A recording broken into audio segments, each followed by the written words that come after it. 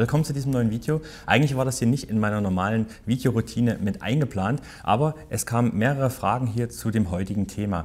Ich soll mal hier das 83 MeToo ja, Autopflege-Set 2019 etwas analysieren. Ich habe da zwei Zuschriften bekommen, die gesagt haben, da sind so ein paar Sachen dabei, die irgendwie nicht so hundertprozentig ins Set reinpassen. Daraufhin habe ich mir das mal angeschaut und euch das Set hier vorne mal zusammengebaut. Ich hoffe, ich habe nichts vergessen. Ich habe hier alles äh, notiert selbst die Erweiterung mit dazu und wir gehen mal dieses Set kurz durch und schauen uns an, was uns hier der größte Autopflegekanal aktuell als Set zusammenstellt für den absoluten Einsteiger. Und dieses Set hier soll sozusagen der möglichst günstige Einstieg sein in die Autopflegewelt. Und da auch bei ihm in den letzten Jahren viele neue Erfahrungen dazugekommen sind, soll das jetzt sozusagen das aktuelle Update sein. Wir gehen die Sachen mal durch und ihr wolltet ja meine Meinung dazu. Ist das Produkt gut? Ist es schlecht? Kann man das vielleicht mit was anderem ersetzen? Das gehen wir jetzt mal gemeinsam durch. Viel Spaß!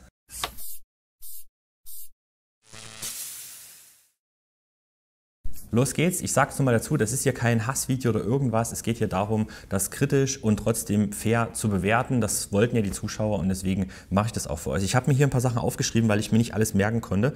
Erstmal hier das Set, wie es vor uns steht. Fangen wir mal vorne an. Es ging los mit der Gloria FM10, kostet ungefähr 28 Euro. Ich werde die Circa-Preise immer mit dann im Anschluss danach nochmal einblenden und dann rechnen wir mal insgesamt zusammen, was das kosten würde. Also Gloria FM10, Schaumsprüher, ganz klare Empfehlung von ihm, finde ich völlig okay. Also also das ist mit einer der besten Schaumsprüher, den es auf dem Markt gibt. Man kann den auch zum Beispiel durch den Altafum 2000 ersetzen. Da gibt es wieder ein paar, die sagen, das lässt sich nicht so gut aufpumpen.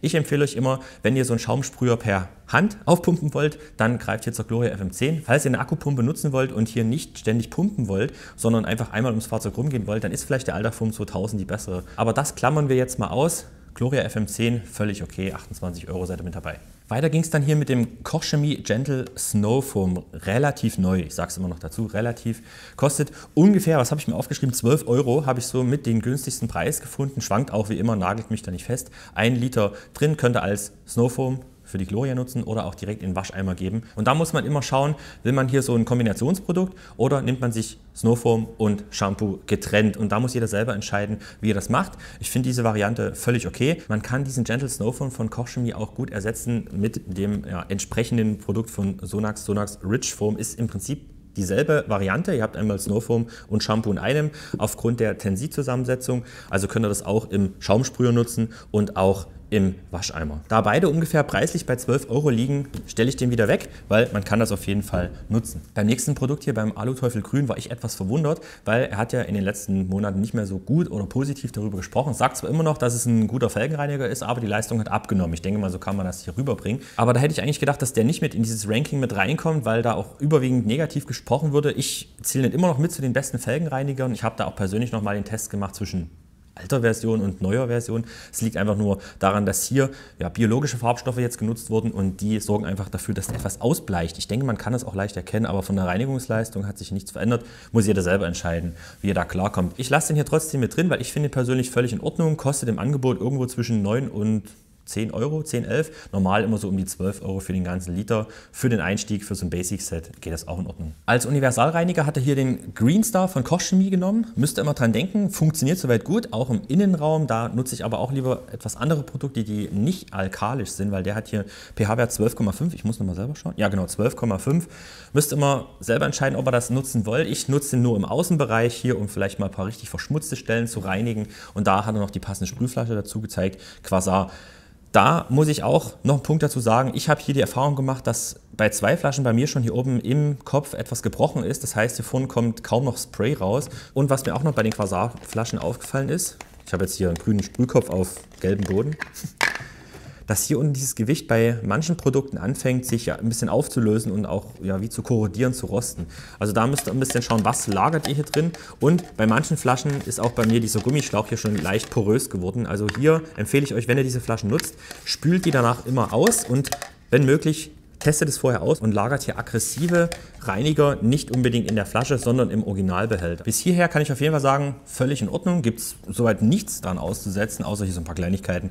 Aber jetzt kommen wir zu den Punkten, wo es doch ein bisschen schwieriger wurde. Weil es ging ja darum, ein möglichst günstiges und attraktives Set für euch zusammenzubauen. Und da hat jeder eine andere Meinung. Klar, Meinung und Erfahrung unterscheiden sich. Aber hier beim Punkt Glasreiniger würde ich einem Einsteiger nicht unbedingt den Kochchemie empfehlen. Klar, er funktioniert super, genauso wie andere Glasreiniger auch, aber hier gibt es wesentlich günstigere Alternativen. Ihr seid hier bei dieser Flasche, ich schaue mal nach, aktuell bei 9 Euro für 750 Milliliter. Ist für viele ein Schnäppchen, ist für viele einfach überhaupt kein Geld, aber es geht darum ja, das Einsteigern weiter zu empfehlen. Und die wollen ja nicht gleich hier in die größten Preisregionen. Und da gibt es auch Alternativen, hole ich mal hier ran. Und das ist der Tugalin zum Beispiel von Tugaschmi, der kostet 6 Euro für einen ganzen Liter. Ist jetzt nicht der riesige Preisunterschied, aber es geht ja wirklich darum, wo kann man noch ein bisschen Geld sparen und bleibt trotzdem bei diesen Autopflegeprodukten. Hier kann man zum Beispiel auch einen günstigen Glasreiniger nehmen, hier von Frosch mit Spiritusanteil für 1,99. Wäre jetzt noch diese Preisalternative, aber wir bleiben mal in dem Bereich der Autopflegeprodukte. Es gibt immer noch günstigere Alternativen, aber das wäre zum Beispiel so ein Punkt, den könnte man sich anschauen und da spart man wieder ein paar Euro. Machen wir mal hier vorne weiter mit dem Trockentuch. Sein eigen importiertes Trockentuch gibt es auch in vielen anderen Varianten von anderen Firmen von äh, Liquid Elements. Ich bin so offen, ich sage das einfach, weil man kann es nicht verbergen, man muss es auch nicht. Also Liquid Elements, was haben wir noch? Fireball, gibt es ähnliche Tücher mit einer ähnlichen Struktur. Von Next Zero gibt es noch Tücher, die dann im ähnlichen Preisniveau liegen. Hält sich aber preislich mit den anderen Tüchern auf einer Ebene, deswegen ist es völlig okay, wenn man sich das nach Hause holt. Ich halte mich ungefähr so an seine Reihenfolge, habt ihr aber auch schon ein bisschen durchbrochen, aber gehen wir weiter zum Waschhandschuh. Und hier muss ich sagen, den Waschhandschuh gibt es auch von verschiedenen Herstellern und den hatte ich in vielen Tests schon im Einsatz und auch privat. Und da ist mir eine Sache aufgefallen, der Schmutz lässt sich sehr schwierig meiner Meinung nach wieder aus diesen Fasern rauslösen. Und deswegen sage ich es dazu, wenn ihr so einen Handschuh mal irgendwo in der Nähe habt zum Ausprobieren, dann testet es mal und kontrolliert auch mal bei Freunden, Bekannten, die so einen Handschuh nutzen, ob hier Restschmutz drin ist, auch nach der Waschmaschine, weil das ist mir wirklich aufgefallen. Ich kann auch hier jetzt schon wieder so einen kleinen Schmutzpunkt rausholen, ohne groß zu suchen. Also das sind so Sachen, die mir etwas negativ aufgefallen sind. Hätte ich zum Beispiel eine Alternative, wenn ich sie sehen würde. Ah, und zwar genau diese Waschhandschuhe. Einfach mal als Beispiel, der All ist auch ein paar Euro günstiger, der kostet 13 Euro circa und der hier, das hat er bei knapp 16 Euro, 15,90 Euro, also auch da wieder 3, 4 Euro gespart. Klar, ist nicht die Welt, aber es geht ja darum, möglichst günstig, aber trotzdem qualitativ hochwertig zu arbeiten. Also hier der All zum Beispiel wäre jetzt eine Möglichkeit, den da als Alternative zu nutzen. Und wenn wir gerade hier bei dieser Art von Kategorie sind, können wir auch nochmal zum Wascheimer und zur Schmutzfalle kommen. Er hat ja hier den normalen Gridguard-Eimer empfohlen, ist auch deutlich stabiler als so ein normaler flatteriger Baumarkteimer, absolut richtig, kostet aber auch ein bisschen mehr. Trotzdem sage ich dazu, auch hier bei meinen Empfehlungen, nutzt echt einen so einen Eimer zum Auswaschen und trotzdem nutzt bitte auch noch einen zweiten Eimer, der kann dann völlig normal und einfach sein mit Shampoo-Wassergemisch, nur zum Auswaschen doch wirklich einen stabilen Eimer nutzen, ihr reibt hier drin mit dem Handschuh hin und her und da muss auch eine gute Schmutzfalle reinpassen und da hat er hier den Eimer gezeigt oder ein ähnliches Modell. Das er ungefähr bei 18 Euro, wenn ihr euch so einen Eimer holt. Und hier die Grid Guard in Kombination, habe ich mal geschaut, ob es da ein passendes Set gibt, kostet 18 Euro. Jetzt kommt noch dazu, dass man hier noch so ein Washboard mit nutzen kann. Und da habe ich auch im Januar 2017 einen Test dazu gemacht, dass diese Art von Schmutzfalle überhaupt keinen Schmutz am Boden hält.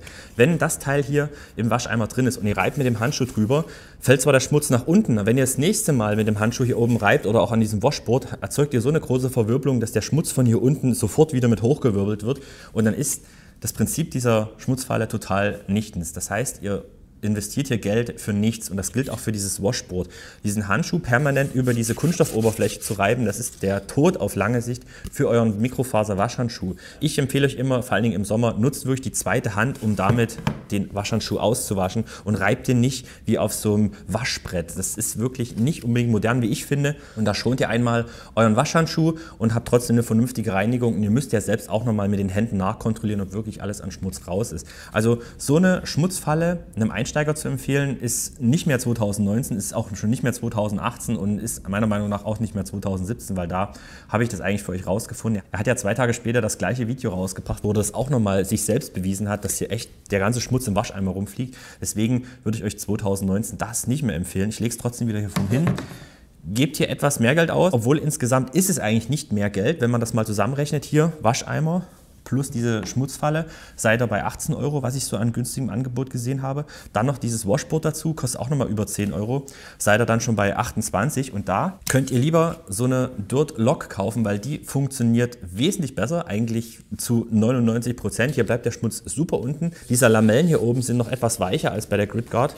und da könnt ihr auch super euren Waschhandschuh dran abreiben und den Schmutz lösen, ohne dass im Untergrund der Schmutz aufgewirbelt wird, weil diese Technik funktioniert noch ein ganzes, ganzes Stück besser und da gebt echt die 20 Euro aus für das Teil, auch wenn es viel ist am Anfang, aber das gebt ihr einmal aus und noch den passenden Eimer dazu und schon habt ihr da die perfekte Kombination, das nehmt ihr dann sozusagen als Rinse-Eimer. Sind wir eigentlich hier mit den Werkzeugen auch durch? Kommen wir zurück zu den Sachen, zu den Flaschen. Einmal hier Ultimate Quick Detailer hat er empfohlen, finde ich völlig okay.